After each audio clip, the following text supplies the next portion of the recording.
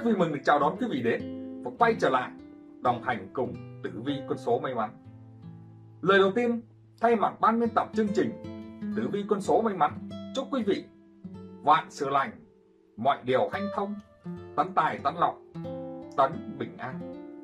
Quý vị thân mến, trong video ngày hôm nay, Tử Vi Quân số May mắn chia sẻ đến quý vị là số tử vi có nội dung như sau. Mời quý vị theo dõi. Giới tử vi tiết lộ, bất ngờ cuộc đời, nữ mạng mậu ngọ 1978, phát tài rực rỡ, tiền về ùng ùng, từ nay đến hết năm 2024, đổi đời cực giàu. Quý vị thân mến, mỗi một ngày trôi qua, chắc hẳn trong chúng ta ai cũng đều mong muốn những điều tốt đẹp sẽ đến với mình và gia đình, công việc được thuận lợi, làm ăn phát đạt, sức khỏe thì dồi dào, ra đạo an yên, mọi sự đều thành công và suôn sẻ. Tuy nhiên sẽ có những người gặp được nhiều may mắn và cũng có những người không tránh khỏi những vận hạn xui xẻo, liên tục do bị sao hung tinh chiếu mệnh, khiến cuộc sống của họ cực khổ, khốn khó, đủ đường và thậm chí làm mãi mà cơm chẳng đủ ăn, áo chẳng đủ mặc, nợ nần chồng chất. Đã vậy còn có những người gặp phải các hạn khiến cho người đó tán gia bài sản, tiền bạc, nhà cửa, gia đình đều tiêu tán. Thế nhưng, mới đây, các bậc thầy phong thủy tiết lộ, người tuổi mậu ngọ năm 2024, bản mệnh 47 tuổi, sẽ được phúc tinh chiếu mệnh vận may ùng ùng kéo đến, làm một hưởng mười. Và ngay sau đây, Tử Vi sẽ luận giải chi tiết vận trình của người tuổi mậu ngọ, sinh năm 1978, theo sao chiếu mệnh, hạng tuổi, vận niên và đầy đủ các phương diện công danh, sự nghiệp tài lộc và tình cảm gia đạo và sức khỏe. Để bản mệnh có một năm 2024 đầy may mắn, giàu có, tài lộc hanh thông. Xin mời quý vị cùng theo dõi video dưới đây.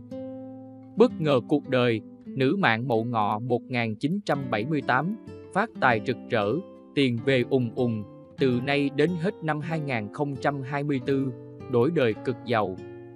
1. Thông tin đặt trước phân biệt, người tuổi mậu ngọ sinh năm 1978 nữ mạng, mậu ngọ, hay còn được gọi với cái tên khác là cứu nổi chi mã, tức là con ngựa ở trong chuồng, nữ cung khôn thổ, thuộc Tây Tứ Mệnh, năm sinh dương lịch từ mùng 7 tháng 2 năm 1978 đến 27 tháng 1 năm 1979, năm sinh âm lịch, mậu ngọ, thiên can, mậu, tương hợp, quý, tương hình, nhâm, sát, địa chi, ngọ, tam hợp, dần, ngọ, tuất, tứ hành xung, tý, ngọ, mão, dậu, mạng thiện thượng hỏa, lửa trên trời, khắc sa trung kim, con nhà xích đế cô quạnh, xương con ngựa, tướng tinh con heo. Cuộc đời được Phật bà quan âm độ mạng, tuổi mậu ngọ nữ mệnh, tính cách hướng ngoại, thích náo nhiệt cũng rất thạo chuyện xã giao. Tuổi mậu ngọ thích những sự thay đổi trong cuộc sống. Đó là lý do tại sao họ không bao giờ chịu đứng yên một chỗ. Người này năng động, nhiệt tình với công việc và sẵn sàng giúp đỡ mọi người xung quanh. Họ có thể một mình đảm nhận nhiều công việc mà không hề mệt mỏi. Cuộc đời thường gặp quý nhân chỉ lối dẫn đường khiến vận thế sự nghiệp của người tuổi mậu ngọ khá tốt, dễ giành được thành công. Người này có lòng đam mê công việc và có tham vọng khá lớn. Tiền vận lắm vất vả nhưng hậu vận an nhàn, có thành công to về đường tài lộc. Vào khoảng năm 47 tuổi, mậu ngọ với nạp mờ hành hỏa do can mậu thổ ghép với chi ngọ. Hỏa, ta có hỏa sinh nhập thổ, tức chi sinh can, nạp âm và can chi lại tương hợp ngũ hành, thuộc lứa tuổi có nhiều may mắn, ít gặp trở ngại trên đường đời. Dù cho năm xung tháng hạn, có gặp nguy nan, nhưng vẫn dễ gặp quý nhân giúp sức để vượt qua dễ dàng. Mậu ngọ có nhiều hỏa tính trong tuổi, khi hỏa vượng hay suy vào lúc lớn tuổi, các bộ phận như tim mạch, ruột, miệng dễ có vấn đề, nên lưu ý từ thời trẻ về già đỡ bận tâm.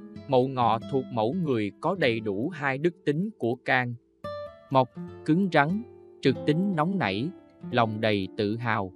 Càng đi xa nơi sinh trưởng càng có lợi, và Chi Ngọ chịu ảnh hưởng của chòm sao hai xương nằm ở phía nam hoàng đạo, nhanh nhẹn, phóng khoáng, nhiều hoài bão, mang trí lớn nhưng không bền trí, rất khỏe mạnh thích sống đời tự lập, ham vui mau quên, mau tráng, bất khuất ngang tàn, nhưng biết phục thiện, ít khi muốn hợp tác với ai vì tính tự kiêu trong cuộc sống. Nữ tuổi mậu ngọ là người giản dị, nhanh nhẹn độc lập, vui vẻ và thân thiện. Họ cũng là người giỏi trong giao tiếp và được nhiều người yêu quý, kính trọng. Họ có óc thẩm mỹ cao, tuổi mậu ngọ cả thèm chóng chán, luôn bị thu hút bởi những thứ mới lạ. Bởi vậy, cuộc sống của họ thay đổi chỉ trong trước mắt, bản tính tò mò, hiếu kỳ hay lo chuyện bao đồng. Con giáp này rất năng động và nhiệt tình. Tuổi mậu ngọ có thể đảm nhận nhiều công việc, nhiều vị trí khác nhau và năng suất lao động gấp nhiều lần người khác. Nhưng họ thường làm việc theo trực giác và hứng thú. Khi công việc ấy khiến tuổi mậu ngọ cảm thấy nhàm chán, họ sẽ thay đổi và đi theo một luồng gió mới mẻ hơn. Cũng bởi sự thay đổi này mà đôi khi tuổi mậu ngọ bỏ lỡ đi những cơ hội vận may cho chính mình. Nhưng dù sao, đó cũng là bản chất không thể thay đổi được của tuổi mậu ngọ. Họ không ngừng vận động, khám phá và thể hiện sự đam mê của mình trong mọi lĩnh vực. Đặc biệt phụ nữ tuổi mậu ngọ còn rất nổi bật với những ưu điểm như có chí tiến thủ, tinh lực dồi dào, trí lực nhạy bén, trong quan hệ tình người chân thành đáng tin cậy, lòng dạ rộng rãi, cởi mở, dí dỏm, vui vẻ. Quan điểm thiện ác phân minh, sống lạc quan, dũng cảm xông vào đói nghèo, giỏi tự lực cánh sinh, có đầu óc quan sát trực quan, thích sống tự do thoải mái ung dung tự tại, có khả năng ăn nói và biện bạch có lý lẽ, trong làm việc nhanh nhạy, dễ tiếp thu cái mới, phụ nữ tuổi mậu ngọ năng động tài giỏi và rất đảm đang. Họ có thể vừa làm tốt vai trò của một người phụ nữ nội trợ, vừa tham gia xây dựng kinh tế gia đình, là cánh tay phải đắc lực cho công việc của chồng. Tuy nhiên, mậu ngọ cũng có nhược điểm lúc gặp khó khăn sẽ hay dao động, có tư tưởng đứng núi này trong núi nọ. Một số mậu ngọ cũng ham thích mua sắm hay sinh hoạt xa hoa, buông thả tình cảm dễ bị kích động tùy hứng. Số đông tính tình nóng nảy, thiếu kiên trì, nhẫn nại, đôi lúc lại chủ quan, cố chấp và không lường tới hậu quả khi hành động. Trải qua chặng đường khó khăn, vất vả, nhưng mậu ngọ vẫn là con giáp lạc quan, tích cực. Họ luôn sẵn sàng đương đầu với mọi khó khăn, nỗ lực giải quyết triệt để những rắc rối đang gặp phải, dù gặp khó khăn cũng không bỏ cuộc, Chính vì vậy mà càng về sau họ cảm nhận được nhiều phước lành trời ban, đúng là ở hiền gặp lành, bước sang trung vận, được sự giúp đỡ của những quý nhân, làm ăn phát đạt, tiền bạc dồi dào, có được cuộc sống sung sướng, an nhàn, đầy đủ đến khi về già, cuộc đời của họ luôn gặp được nhiều niềm vui và may mắn, ít khi đau khổ, buồn phiền. Tuy nhiên, đôi lúc họ vấp phải sai lầm, thất bại không đáng có, bởi sự chủ quan, nóng nảy của mình. Nếu khắc phục được điều này, phụ nữ tuổi mậu ngọ sẽ là những người thành công, có gia đình hạnh phúc, con cái thành đạt trong xã hội. Tiếp theo, xem tử vi 2024 của nữ mạng tuổi mậu ngọ, sinh năm 1978, theo can chi ngũ hành, xét về thiên can, mậu khắc sát, sức khỏe có dấu hiệu giảm sút rõ rệt, bản mệnh cần duy trì thói quen ăn uống đúng giờ và đừng ôm đồm quá nhiều việc cùng lúc. Kéo hại sức khỏe, đau ốm liên miên, hao tổn tiền bạc vì chạy chữa bệnh tình. Xét về địa chi, ngọ gặp thìn là bình hòa, công việc làm ăn duy trì được phong độ như vốn có, tài chính không phải suy nghĩ nhiều vì có nguồn thu nhập ổn định. Chuyện tình cảm gia đình cũng ngày càng êm ấm. Xét về ngũ hành, bản mệnh và lưu niên đồng họa, tín hiệu thúc đẩy tài khí vượng, tham vọng đi đôi với vất vả, nhưng bù lại, tiền bạc có thể kiếm được nhiều hơn. Tiểu kết, bước sang năm 2024, nữ mệnh mậu ngọ có dấu hiệu suy giảm về vận khí, đặc biệt là phương diện sức khỏe. Bạn nên chú ý nghỉ ngơi điều độ, tránh tham công, tiếc việc mà mệt thân. Công việc làm ăn, tài chính vẫn duy trì được trạng thái ổn định, thu nhập khả quan, gia đạo tình cảm không có gì phải lo lắng. Thứ hai, xem tử ti mậu ngọ sinh năm 1978 nữ mạng, theo sao hạn, năm 2024 tuổi mậu ngọ nữ mạng, gặp sao vân hán chiếu mệnh, sao vân hán hay vân hớn, là một hung tinh chủ về bệnh tật. Nữ nhân vướng sinh họa huyết quan, nam nhân thì quan trường bất lợi, gia đình bất an, điền sản bất vượng, tự phải thận trọng. Trong dân gian vẫn lưu truyền một bài thơ về tính chất của sao vân hớn như sau. Vân hớn tọa mệnh nhẹ nhàng sơ qua, cả năm nhân khẩu lao đao sơ sài. Đầu năm bài bạc phá tài, thua nhiều ăn ít hao tiền bất an. Văn thơ đấu khẩu đa đoan, mang lời chịu tiếng bị oan của hành. Họa đức chiếu mệnh chẳng lành, kiềm tính nóng nảy tụng tranh chàng hiền. Tháng tư tháng tám phải kiên, kỵ trong hai tháng gia đình không yên. Gặp ai gây gỗ làm ngơ, nhìn nhục qua khỏi thì mình không sao. Vân Hán là sao trung tính, tốt xấu ở mức trung bình, năm có sao này chiếu mạng, thì công việc nhàn nhàn, không quá vất vả, cũng không quá thành công rực rỡ.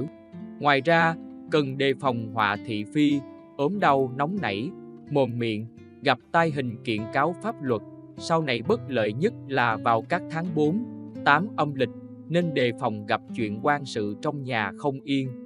Những mối sao vân hớn có thể mang tới cho mình chủ như làm ăn mọi việc đều trung bình, nói lời khó nghe, dễ bị thiệt thân, đề phòng thương tật, đau ốm, mồm miệng. Nam gặp tay tinh bị kiện thư bất lợi, nữ không tốt về thai sản, nhất là vào tháng 4 tháng 8 âm lịch, gia đình bất an, điền sản bất vượng, tự phải cẩn trọng, trở nên bảo thủ, bảo vệ nền nếp cũ, khá bảo thủ và không ưa đổi mới. Vì những lý do này mà người bị xa vân hớn chiếu, dễ vướng vào các rắc rối về giấy tờ, kiện tụng nóng nảy, không giữ mồm miệng nên mâu thuẫn cãi vã. Về cơ bản thì sao vân hớn cũng tương đối lành, nên phần nhiều cũng không ảnh hưởng lớn trong công việc cũng như sức khỏe.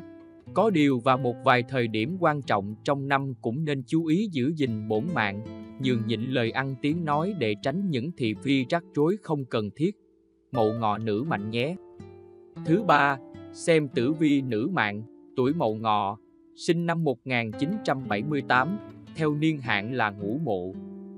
Ngũ mộ hạn xấu tổn tài, cả năm đau ốm lao đao chẳng lành. Khuyên ai khấn nguyện hết lòng. Đầu năm cúng bái thoát vòng tai ương. Trong cửu diệu niên hạn, thì hạn ngũ mộ là hạn xấu, chủ về tài chính, hao tài tốn của, thậm chí còn kéo theo những hệ lụy nguy hiểm từ sức khỏe, tinh thần. Năm nào gặp hạn này, quý bạn nên giữ tiền cẩn thận.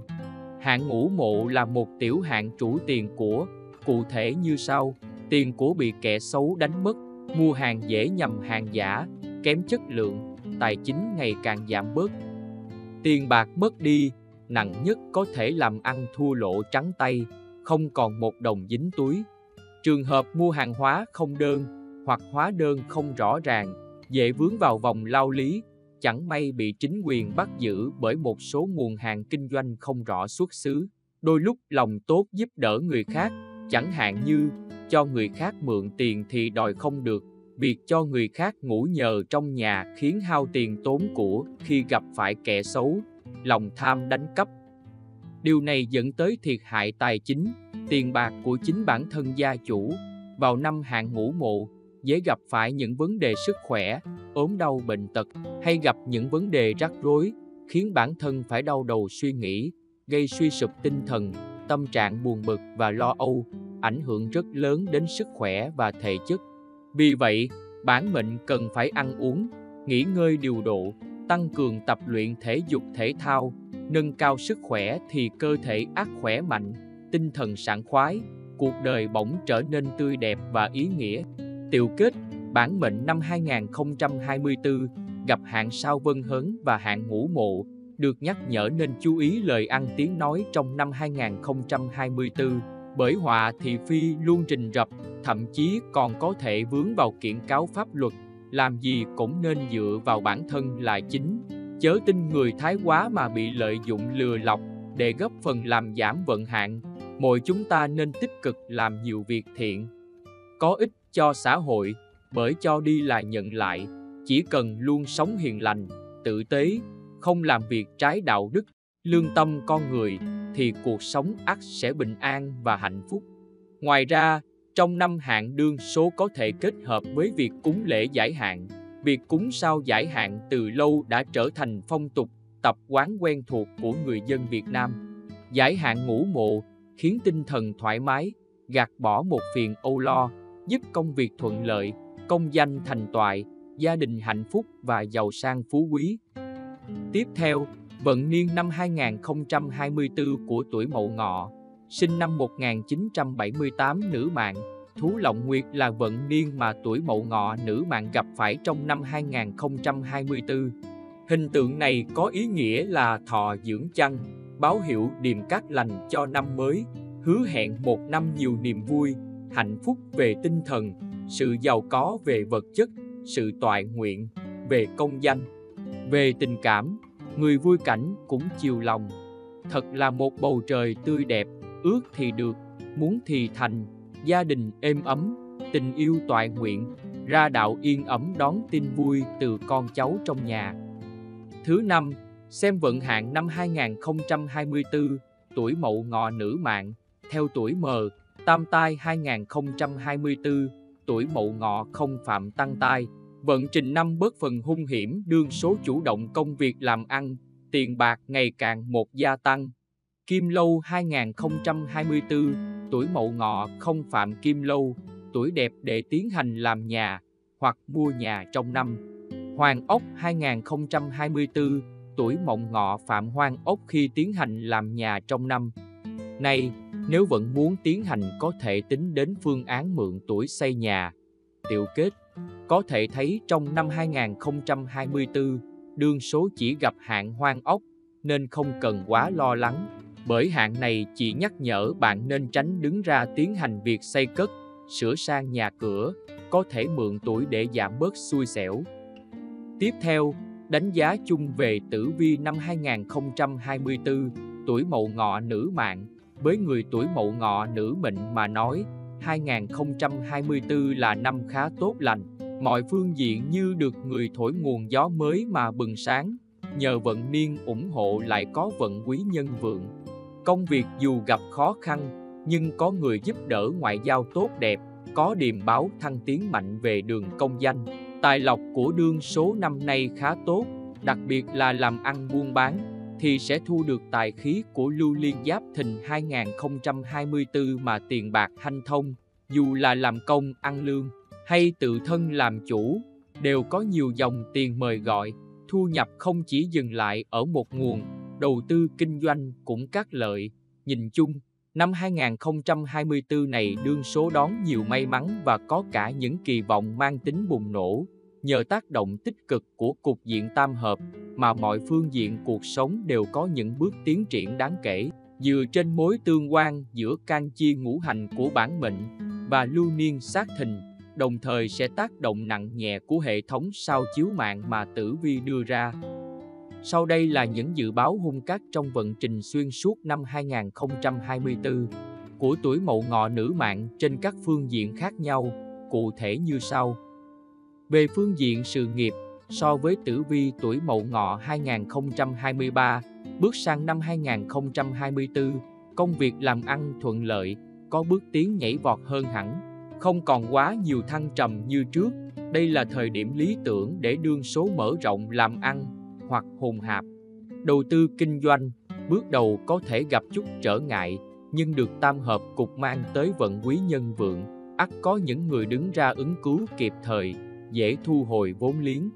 Người làm công ăn lương có cơ hội tỏa sáng trong sự nghiệp, các tinh hoa cái và thiên quan, mang tới các mối quan hệ xã giao hài hòa, được cấp trên đề bạc thăng tiến, có dấu hiệu tăng lương rất mạnh vào nửa cuối năm 2024.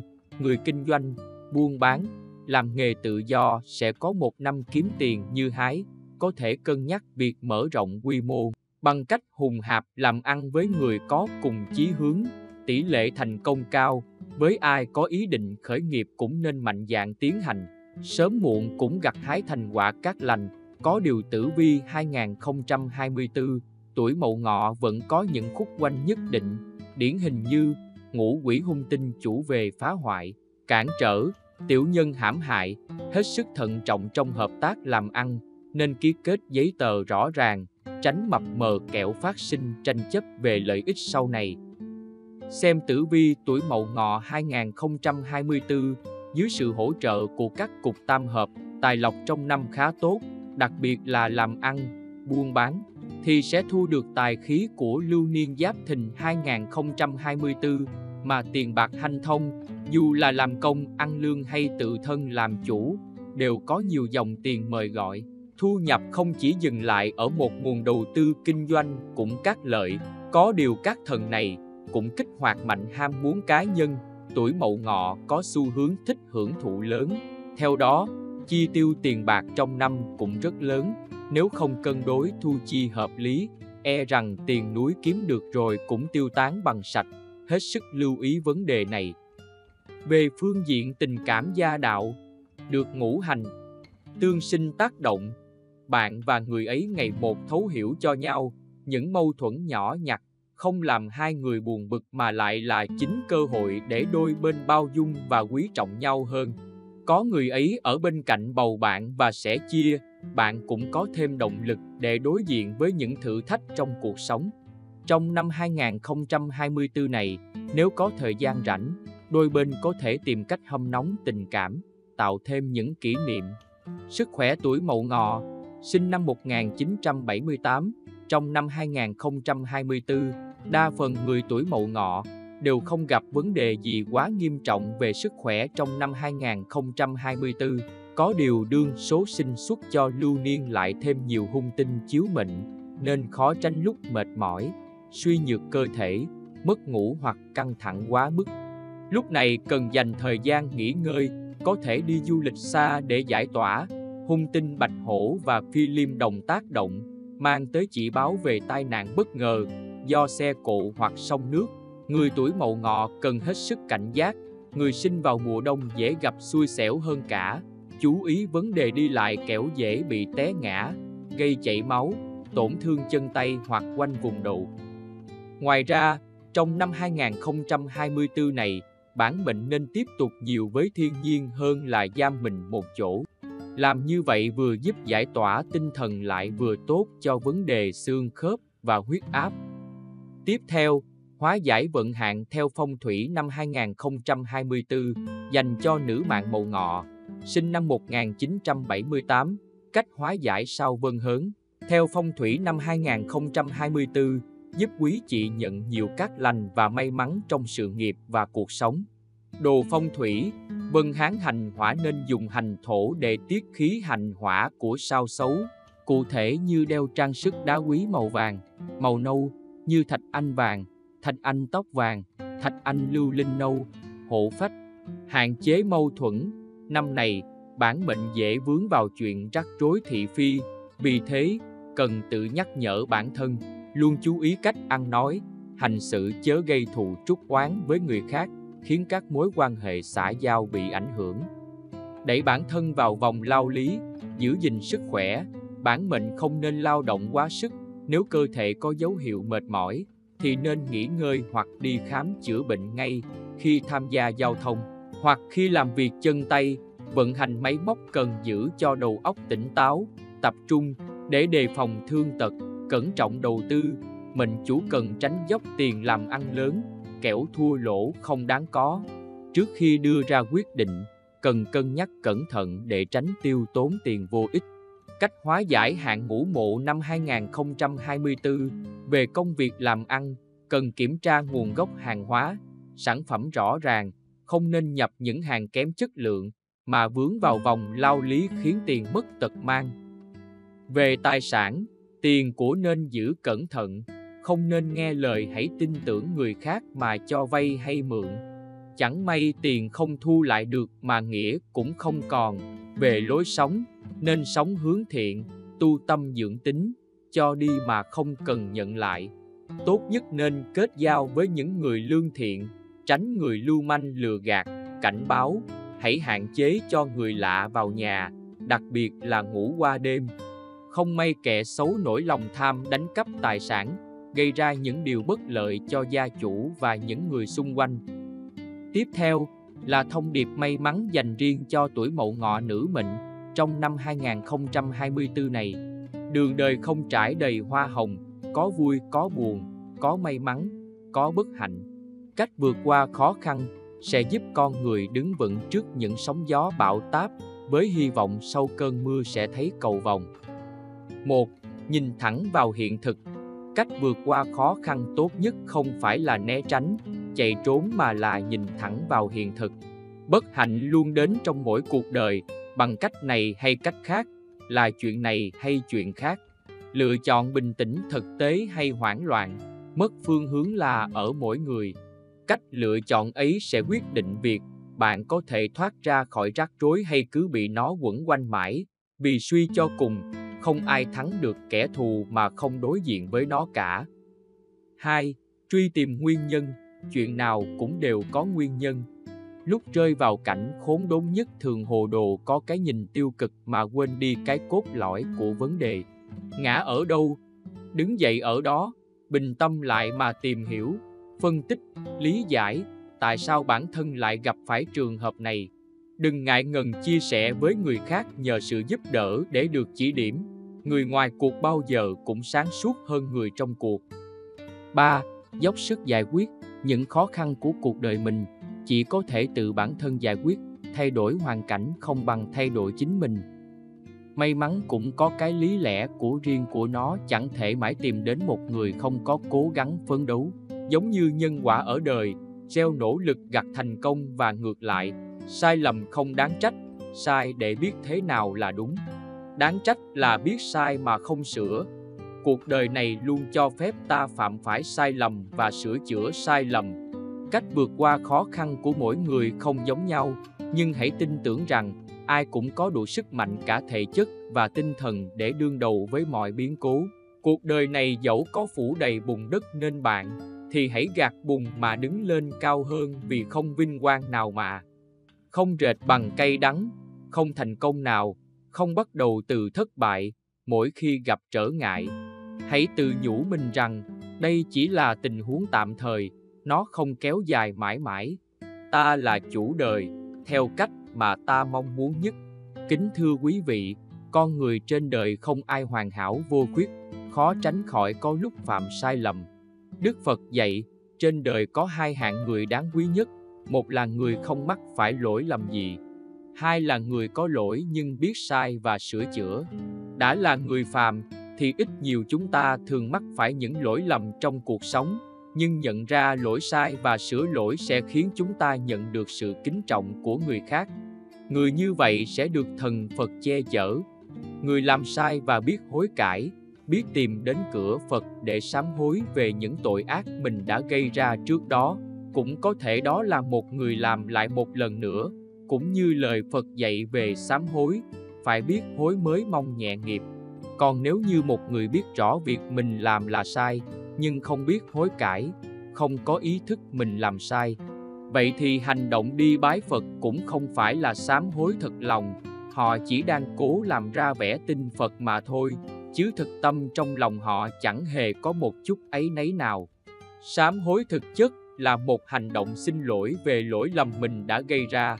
Thế nhưng con người thường rất e dè trước lời xin lỗi, bởi vì họ bị gắn chặt bởi chấp thủ và chấp ngã. Chấp thụ chính là việc gì cũng cho mình là đúng, người khác sai. Đó còn gọi là tính bảo thủ, chấp ngã đề cao cái tôi của mình, dù có biết lỗi nhưng không nhận lỗi vì sợ làm mất giá trị của bản thân, người khác coi thường. Vì thế nên đối với người này, hai từ xin lỗi thường nặng nề và không được sử dụng đến. Những người gây tội lỗi thường cảm thấy không yên ổn trong cuộc sống, bởi lương tâm dây dứt hoặc sau đó gặp những chuyện không may xảy ra. Vì thế, chỉ cần sám hối một cách thành tâm sẽ làm cho tâm hồn được nhẹ nhàng, thanh thản. Phật giáo vốn rất đề cao nhân quả báo ứng, người làm sai chắc chắn sẽ phải chịu nghiệp báo do sai lầm của mình gây ra, sau khi chịu quả báo mà vẫn không biết hối cải. Vậy thì Đức Phật sẽ không bao giờ phù hộ cho người ấy. Quý vị thân mến, trên đây là chia sẻ tâm huyết về nội dung Bất ngờ cuộc đời, nữ mạng mậu ngọ 1978, phát tài rực rỡ, tiền về ùng ùng, từ nay đến hết năm 2024, đổi đời cực giàu, từ đội ngũ biên tập chương trình. Trong quá trình truyền đạt video, đội ngũ biên tập không thể tránh khỏi những thiếu sót, mong quý vị thông cảm và đồng hành đóng góp ý kiến dưới phần bình luận. Để đội ngũ biên tập chương trình cố gắng ngày một hoàn thiện hơn, mong rằng nội dung này có thể giúp quý vị có thêm nhiều niềm vui và gặt hái thành công mỹ mãn trong cuộc sống. Tử vi con số may mắn Xin chào tạm biệt và hẹn gặp lại quý vị trong những chương trình tiếp theo.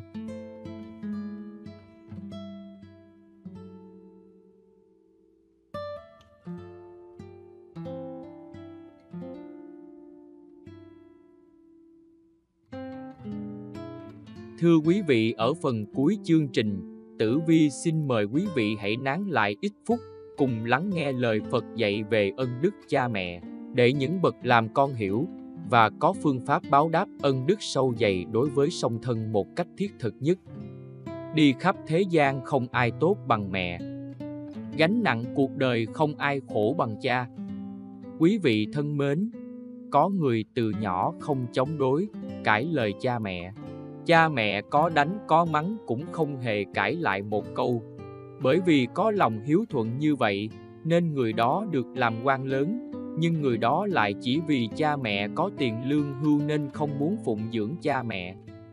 Kết quả, ông người ta dù làm quan lớn nhưng cả đời không có bao nhiêu tài sản, còn chẳng bằng một người giàu có mở cửa tiệm buôn bán bình thường. Đức Phật Thích Ca nói, phụng dưỡng cha mẹ dù chỉ một chốc một lát, cũng có thể nhận được phúc báo vô lượng.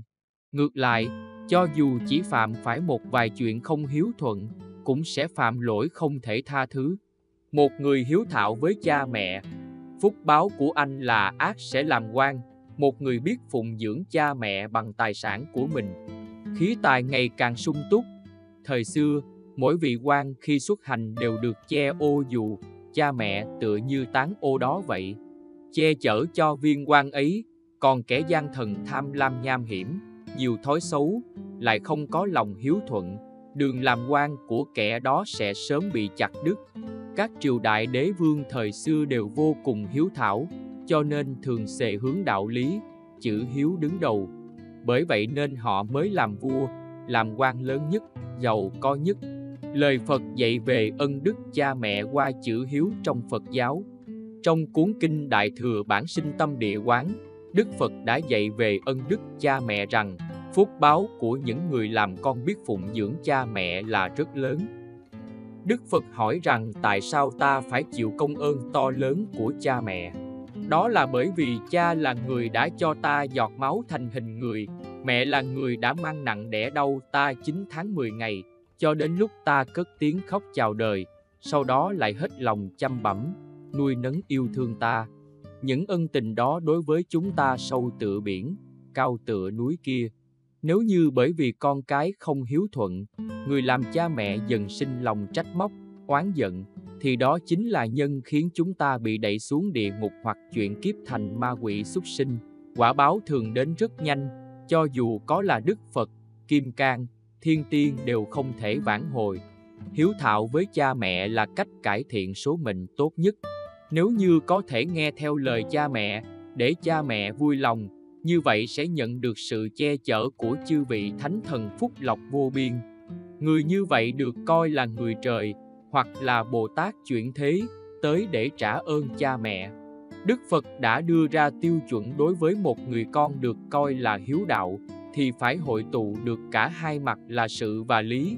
Sự là hình thức báo đáp bên ngoài, là sự lo lắng, chăm nom, phụng dưỡng để cha mẹ không bị thiếu thốn về vật chất, luôn tôn trọng, kính lễ cha mẹ không được khiến cha mẹ phiền lòng. Lý là chăm lo đời sống tâm linh cho cha mẹ, hướng cha mẹ phát khởi, lòng thiện tâm, gieo tạo phước lành, tu theo chính đạo để cha mẹ hiểu rõ về thiện lành, thoát khỏi tạp niệm mê tín ra khỏi luân hồi nghiệp báo. Nhờ vậy, cha mẹ được sống an lạc trong hiện tại và giải thoát trong tương lai. Nói cách khác, một đời sống hành thiện, tích sức là hiếu hạnh. phát tâm báo ân còn lại những điều tà ác, không có đạo đức là bất hiếu. Và đây là lời Phật dạy về ân đức cha mẹ qua 10 công ơn của cha mẹ. Cha mẹ sinh ra ta có 10 công ơn như sau. Thứ nhất là ơn 9 tháng 10 ngày mang nặng đẻ đau, từ lúc con mới chỉ là giọt máu rồi dần thành hình người mẹ đều hết sức che chở, như đất mẹ ôm con vào lòng. Khi con mới được một tháng trong thai, mẹ giống như hạt sương mong manh dính trên ngọn cỏ, sớm mới tụ động mà chưa đã tan, có lòng giữ được. Khi con được hai tháng ở trong thai mẹ, hình như sữa đặc đã chắc điều gì đâu. Khi con được ba tháng ở trong thai mẹ, như cục máu đông đặc đỏ ngầu, vô tri vô giác con nào biết chi. Khi con được bốn tháng trong thai mẹ, mới bắt đầu thành dạng thành người. Khi con được 5 tháng trong thai mẹ, con mới đủ năm hình đủ chân tay đầu óc, con của mẹ. Khi con được 6 tháng trong thai mẹ, 6 căn mới đủ, mắt tai mũi lưỡi thân hình và ý. Khi con được 7 tháng trong thai, mẹ mới sinh đầy đủ 360 đốt xương, cũng là 8 vạn 4 ngàn chân lông. Thứ hai, là ơn lúc gần sinh con ra đời, trải qua muôn vàng vất vả, nặng nhọc, cực khổ, sắp đến ngày sinh nở, mẹ ngồi cũng mỏi, nằm cũng khó, đứng cũng đau. Mẹ sợ hãi, lo lắng khi sắp bước vào giây phút sinh tử cuộc đời. Khi con đến với bụng mẹ được 8 tháng, phủ tạng mới sinh, ý chí mới đủ, chính khiếu mới thông, khi con đến tháng thứ 9 mới đủ hình người ngồi trong bụng mẹ. Lúc khác con uống nguyên khí, lúc đói con ăn cùng mẹ, sinh tạng rụ xuống, thật tạng hướng lên. Thứ ba là ơn sinh nở, trải qua trăm khổ ngàn cực, Cuối cùng mẹ đã đợi đến khi được trông thấy con, thân thể mẹ mở toan, nước mắt và máu hòa đầy. Chờ đến khi nghe thấy tiếng con khóc, lòng mẹ mừng rỡ thay cũng lo lắng thay về tương lai. Vẹn tròn tới tháng thứ 10 đến ngày mẹ được nhìn thấy con, nếu là con, hiếu chấp tay thu hình thuận lối mà ra để không đau lòng mẹ. Nếu là con bạc, dãy dụa vùng vẫy khiến lòng mẹ bút từng cơn, như cào như câu như ngàn mũi dao đâm vào gan ruột. Mẹ đau đớn vô cùng, nói sao cho tỏ, sinh được con rồi, mừng lắm, vui lắm con ơi, yêu con của mẹ. Thứ bốn là ơn của đắng mẹ ăn, của ngọt dành cho con, thương con mẹ chẳng tiếc chi, cay đắng mẹ ăn, ngọt bùi phần con, yêu con mẹ nâng niu như vàng ngọc, âu yếm chẳng rời tay những mong con no, con ấm, mẹ đói trách cũng vui. Thứ năm là ơn suốt đêm chăm con, vì con, chỗ ướt mẹ nằm, chỗ ráo để con, hai bầu sữa phòng khi con đói khát, hai tay này ủ ấm con khỏi gió sương. Thương con mẹ suốt đêm không ngủ, con say giấc nồng lòng mẹ mới được yên. Thứ sáu là ơn bú mớm nuôi nấng, công cha như núi Thái Sơn, nghĩa mẹ như nước trong nguồn chảy ra. Cha mẹ thương con chẳng chê con xấu xí hay xinh đẹp, lành lặn hay quắp tay, quắp chân, sáng tỏ hay câm mù điếc. Bởi vì là con rứt ruột đẻ ra, nên dù thế nào cũng yêu thương con. Thứ bảy là ơn dạy dỗ, cha mẹ dạy con từ thuở lọt lòng, dạy con từ cách cầm đũa, cầm thìa để con tự làm ấm bụng mình, rồi dạy con cầm bút. Nắng nót từng con chữ, con lớn rồi lại dạy con đối nhân xử thế, làm người phải biết hành thiện tích đức, hàm ơn phải báo ơn, cha mẹ không dạy con báo hiếu cha mẹ cụ thể ra sao, nhưng phận làm con phải tự nhớ lấy cần chi cha mẹ chỉ bảo, nghe lời Phật dạy về lòng hiếu thảo để thấy chúng ta đã hiểu sai như thế nào. Thứ 8 là ơn đi xa lòng mẹ thương nhớ, con lớn rồi, có công việc, có lý tưởng, hoài bão riêng của con. Cha mẹ ở chốn xa nơi quê hương, chỉ biết ngóng trông theo bước con đi, cầu mong con được bình an, suốt đêm thương nhớ, sớm tối vấn vương. Thứ chính là ơn sẵn sàng hy sinh vì con, vì con mẹ bồng mẹ bế, nhường cơm xẻ áo, mẹ dù đói rách cũng vui, chỉ mong con lớn tìm bạn hiền mà chơi, tìm người đức mà nên đôi nên lứa. Thứ 10 là ơn cha mẹ trọn đời thương con, công cha và đức mẹ đấy con ơi. Cao sâu tựa trời, cha mẹ già hơn trăm tuổi, đầu óc quên quên nhớ nhớ, vẫn thương con 80, đến khi nào nhắm mắt xuôi tay, lòng cha mẹ thương vẫn chẳng thôi.